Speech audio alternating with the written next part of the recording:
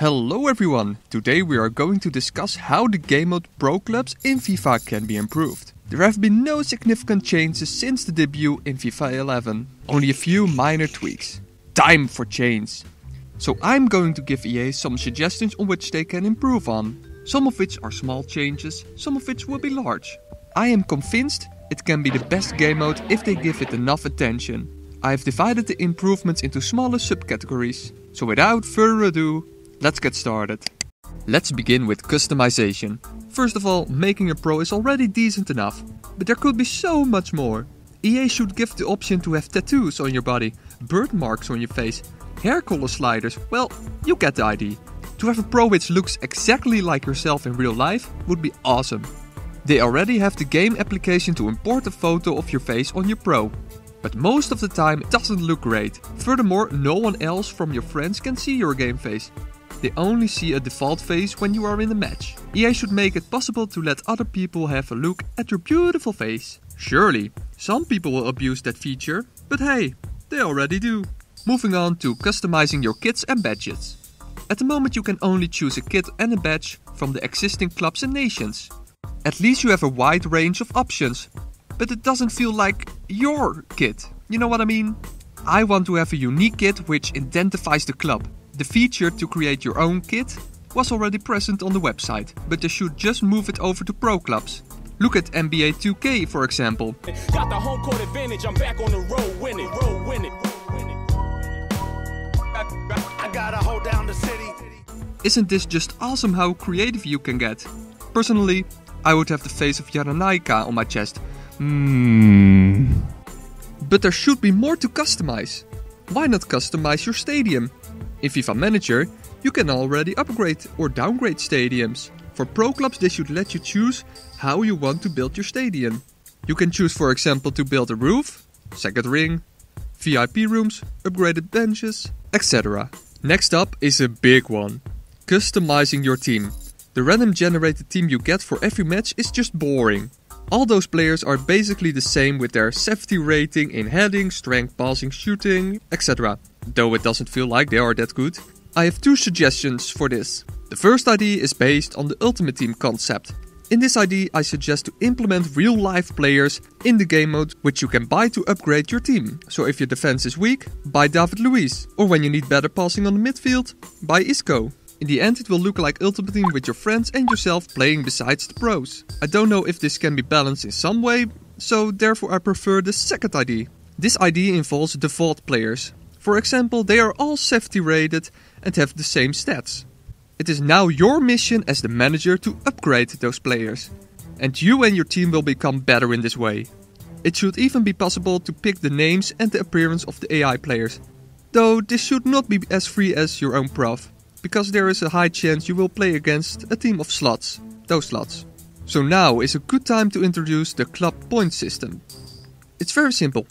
Each time you complete a match, you get club points, just like coins in Ultimate Team.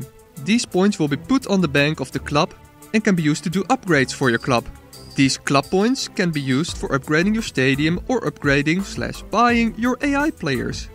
This will also reduce the people from club hopping or creating a new club in an easy division. Besides obtaining club points for completing matches, you should also get pro points for completing matches and completing objectives. Your pro should also be a mediocre safety rated for this to work. This is going to be a somewhat longer explanation. So let's say you begin pro clubs in the new FIFA. No matches played and you are safety rated. With the pro points you get after completing a match, you can improve your pro stats. Let's work out an example. Let's say you have earned 4000 pro points for completing a match. Now you want to improve your sprint speed to run past the defense. Let's use this formula the letter N means the level you are right now. To improve your sprint speed from 70 to 71, you need to invest about 3000 pro points with this formula. With this formula, you can easily upgrade your skills that are safety rated after every match. But if you want to improve your sprint speed from 90 to 91, it takes about 15,000 pro points. This will at least take 4 matches to earn. This formula will prevent people to put all their points into pace alone and run past the defense. I know this formula is not optimal, but it's a concept to balance the way of investing points. I'm not a mathematician, okay? This concept can also be implemented on upgrading your AI team, with some minor tweaks. Side note, with this you can also be fast when you're tall, just like Ronaldo. Though I think you should begin with a lower sprint speed rating when you start off as a tall person. This system will also take away those annoying accomplishments, which you need to complete to become better. Now for another category, game options. First off, you should be able to spectate other people's games. This is the first step to being an esports game. But more importantly, your friends that are waiting for the match to finish can now watch the game instead of the scoreboard in the lobby. Which brings me to a better solution, which is substitutes. When your friends are a little too late to join the game, they can ask for a substitution and drop in in the middle of the match. This at least reduces the boring waiting times. Another thing they should implement is the option for a casual match. This would be a handy tool to try out new tactics, try out new players, or if you just want to goof around. To make the game more diverse, EA should also have more frequent tournaments. Now it's just once in two weeks. If you win a tournament, you not only get a trophy, but also some club points, or an item for a stadium to show off what you won. And for the last category, we have statistics. The leaderboards in this FIFA are not representative for how good players are. Of course, you can see how many goals they scored, and how many matches they have played, but the main factor that is putting people on the leaderboards is the amount of games they played linked with their match rating. What EA should do is make different leaderboards only focusing on one attribute, like their win loss ratio, total assists given, hat trick scored, etc. I also believe divisions are sometimes boring.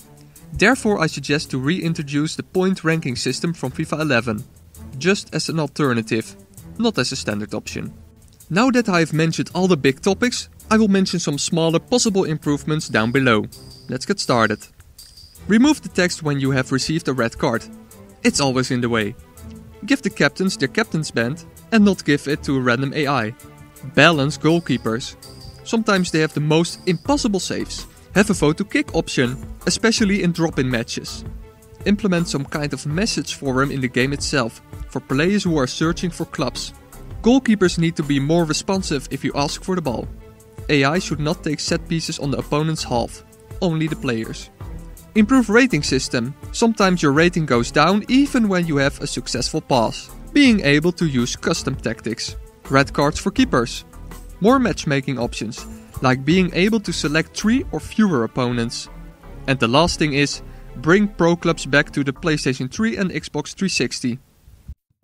And that is everything I want to say about Pro Clubs for now.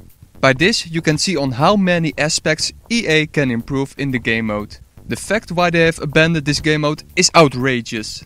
Anyway, if you, yourself, have any suggestions or comments about these ideas, please let me know. I would love to hear your opinions about this.